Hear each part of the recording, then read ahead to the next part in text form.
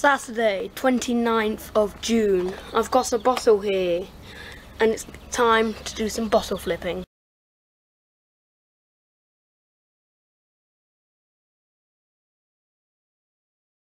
We're having a heat wave here in Britain, but I think other parts of Europe will have it as well. I've filled up my bottle, I'm to go into the grass, and I'm to see how many times I can land it in one, two, three, four, and five minutes. One minute on the clock, I'm about to start bottle flipping. Noise there. Sorry about the noise.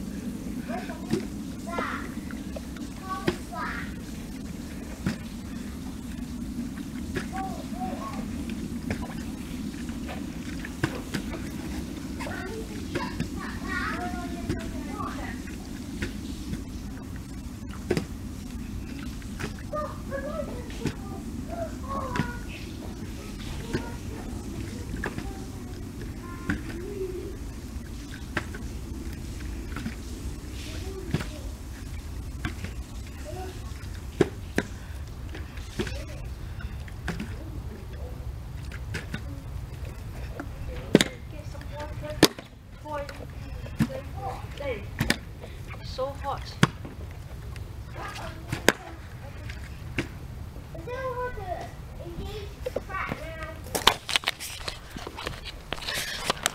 I've just landed it and it's gone past the one minute barrier. I'm gonna wash my hands. I'm gonna do it again. Two minutes. Changing plan. I had to use this bottle here because that green one broke and I had to change it because I can't do two minutes. I can only do one. So yeah, straight into it. One minute on the clock. This one doesn't break. Or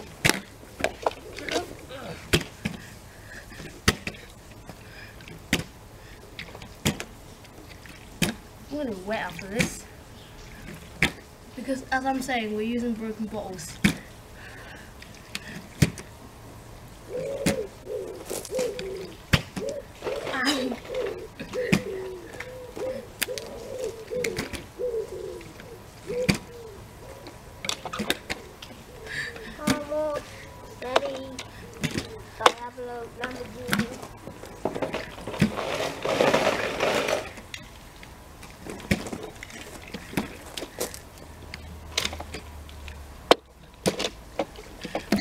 Oh, this is gonna take Oh no.